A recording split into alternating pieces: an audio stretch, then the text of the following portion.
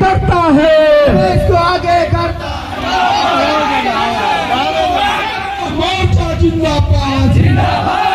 और दूसरे दिन टीएस बाबा इस्तीफा देते हैं। अभी तो एक मंत्री आए हैं केंद्र से और भी आ रहे हैं।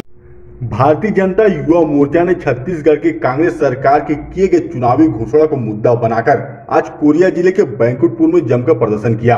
वहीं बेरोजगारी भत्ता और रोज़गार को लेकर छत्तीसगढ़ के भूपेश सरकार के खिलाफ जमकर नारेबाजी की। इस दौरान बैकुंठपुर एसडीएम कार्यालय में पुलिस के साथ झूमा झपटी भी देखने को मिली। वहीं भाजपा कार्यकर्ताओं ने राज्यपाल के नाम एसडीएम को ज्ञापन भी सौंपा। इस दौरान बड़ी संख्या में भारतीय जनता युवा मोर्चा के पदाधिकारी और कार्यकर्ता मौजूद रहे।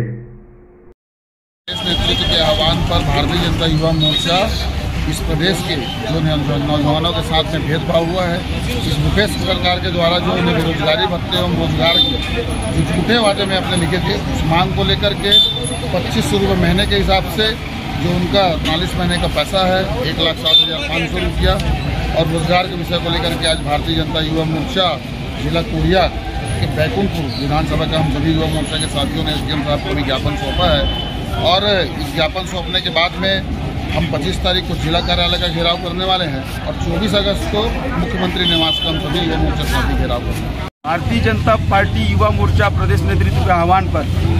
जिन वादों के साथ कांग्रेस पार्टी सरकार में आई है, बेरोजगारों को पच्चीस सौ रुपये प्रति माह बेरोजगारी भत्ता देने का और एक लाख रोज़गार देने की बात भूपेश बघेल ने किया था किंतु आज तक किसी को, किसी भी युवा को, कोरिया ज़िले के युवा हो, चाहे छत्तीसगढ़ का युवा हो, किसी भी युवा को न बेरोजगारी भत्ता मिला और न ही रोज़गार मिला। इस बात का विरोध करने हम युवा मोर्चा के साथ ही आज बैकुंठपुर विधानसभा में विरोध प्रदर्शन कर रहे हैं और एसडीएम कार्यालय का घेराव करने का कार्यक्रम यहाँ पर रखा गया था। और हम आगाज़ करते हैं इस कार्यक्रम के माध्यम से, इस घेराव के माध्यम से कि भूपेश बघेल, अगर आप हम, हमारी बात, हमारी मांगों को आप अगर पूरा नहीं करते हैं तो आप बिल्कुल आप तैयार रहिए। 2023 में आपकी पार्टी आपकी सरकार जाने वाली है।